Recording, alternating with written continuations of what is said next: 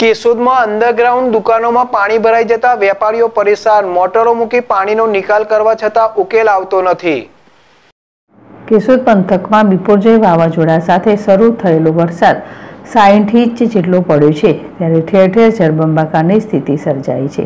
આવી કપરી પરિસ્થિતિમાં કેશોદના જુદા જુદા વિસ્તારોમાં આવેલા વાણિજ્ય હેતુથી બનાવેલ બહુમારી બિલ્ડિંગમાં અંડરગ્રાઉન્ડ દુકાનોમાં પાણી ભરાઈ જતા માલ સામાનને નુકસાન થયું છે. વેપારીઓ દ્વારા મોટર મૂકીને પાણી ખેંચવાની કોશિશ કરવામાં આવી રહી છે, પરંતુ મેઘરાજા વિરામ લેતા ન હોવાથી જમીનમાંથી પાણી છૂટતા વેપારીઓ હેરાન પરેશાન થઈ રહ્યા છે.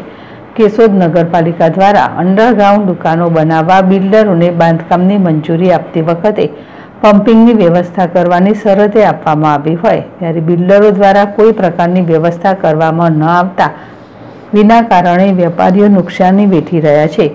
કેશોદ શહેરમાં અમુક વિસ્તારમાં ખોદકામ કરી મેટલિંગ કરી રોડ બનાવવાના બદલે હયાત રોડ પર જ રોડ ઊંચા બનાવવામાં આવતા દુકાનો નીચે આવી જતાં પાણી ભરાઈ જવાની ઘટનાઓ બને છે.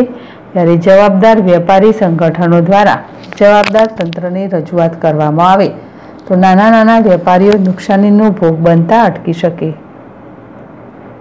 ગોવિંદ હડિયા જેડેશ ટીવી કેસુદ સ્વામી ઇલેશ. મારા કેશોદ રોડ ઉપર વેરાવળ રોડ ઉપર કેશોદ અંડરગ્રાઉન્ડમાં દુકાન આવેલી છે.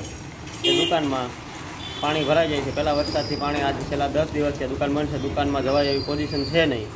અને પાણી જેટલું કાઢીએ એટલું પાણી પાછું સામેથી આવે છે. એમાં ખરેખર નગરપાલિકાને કંઈક અમારી વ્યવસ્થા કરી દેવી જોઈએ. નગરપાલિકા અહીંયા કાંઈ વ્યવસ્થા અમારી કરતી નથી અને દુકાનમાં પાણી ભર્યું રહે છે.